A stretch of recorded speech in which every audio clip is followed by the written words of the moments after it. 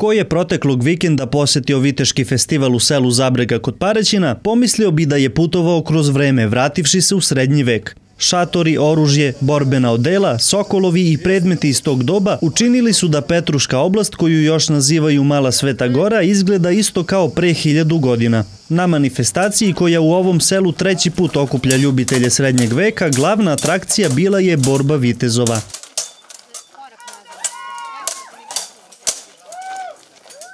Oružje je pravo metalno, po pravilima zatopljeno je na minimum 2 mm, tako da ne postoji oštrica sa kojom se borimo. Nemamo e, šiljke na oružjima da ne bi došlo do eventualne povrede prilikom probijanja, ali sve ostalo je replika pravog oružja. Mačevi su one težine koje treba da budu kao duelni mačevi ili dvoručni ili jednoiporučni, takozvani bastard mačevi, koplje su isto istorijska replika upotrebnog oružja iz tog vremena, kao manje više i sve. Mi što radimo, ove, radimo kroz eksperimentalnu arheologiju. Jeste poenta da mi na stari način proizvedemo nešto i vidimo koliko je to zaista bilo upotrebljivo u to vreme i kako su to naši preci uspevali i na koji način se dolazili do rezultata do kojih se dolazili.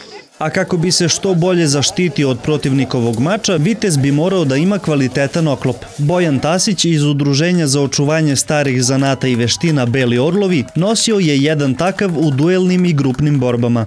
Ovaj oklop je bio negde s početka rađenja kraljevine, to jest naše Loze Nemanjića, bio bi predstavljao jednog gardistu koji bi bilo malo bolje oklopljeniji borac, možda malo iskusniji, koji je zavredio neki svoj status u staležu. Modelu jeste teško, puni oklop e, ide i do 35 kg u zavisnosti od konstitucije čoveka, ali e, sve je to raspoređeno po telu i sa godinama i decenijama nošenja toga to se navikne se telo i navikne se čovjek. Da sve izgleda onako kako je bilo u srednjem veku, doprineo je i sokolar iz Šapca. On nam je predstavio ovu veličanstvenu pticu i sokolarstvo koje je njegov dugogodišnji hobi. Danas je njegov zadatak da dočeka goste, da mogu gosti malo da se slikaju, da se upoznaje sa sokolarstvom. Sokolarstvo, je, sokolarstvo nastaje iz starog veka, sa sokolovima, sokolovima su sokolari lovili, to jeste kraljevi sa sokolovima, sluge sa jastreboma i strugari, to su bili jastrebari.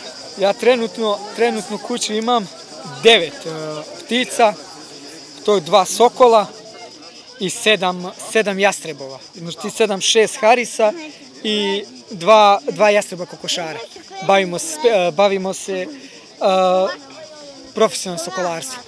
U okviru Viteškog festivala bilo je mnogobrojnih aktivnosti u kojima su učestvovala udruženja iz raznih krajeva Srbije. Udruženje Beli Orlovi pružilo je, pored opštine Paraćin i Ministarstva turizma, veliku podršku turističkoj organizaciji opštine Paraćin u održavanju ove manifestacije. Od starih zanata, od srednjevekovnog bazara, od izložbe oruđa i oružja iz tog perioda, imat ćemo znači, streličarsko dvorište, imamo i sokolove, imat ćemo razne vrste borbi, prikazne borbe, zatim džostranje sa konjima, tako da dešavanja Znači, u toku ova dana će biti celodnevna. Tu su udruženje iz Kruševca, tu su udruženje iz Niša, tu su udruženje iz Sremske Mitrovice, iz Novog Sada, tako da imamo, znači, iz Krušumlje, Uh, imamo još nekih 6-7 udruženja i danas imamo negde otprilike oko 70 učesnika, ajde ili da ih nazovem vitezova u, u ovim srednjevekovnim odeždama, oklopima i u, u čitam ovo, ovoj manifestaciji.